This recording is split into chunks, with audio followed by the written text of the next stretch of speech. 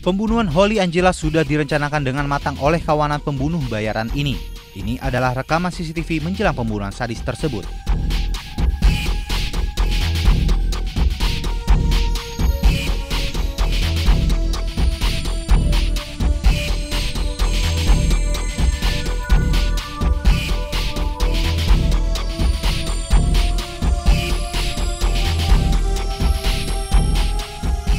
Holly Angela tiba di apartemen Kalibata City sekitar pukul 22.31 waktu Indonesia Barat.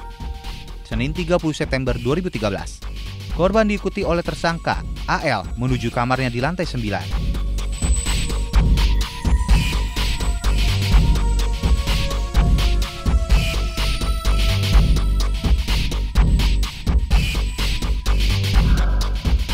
Dua tersangka lain, RSK dan EY, sudah menunggu di kamar Holly Angela.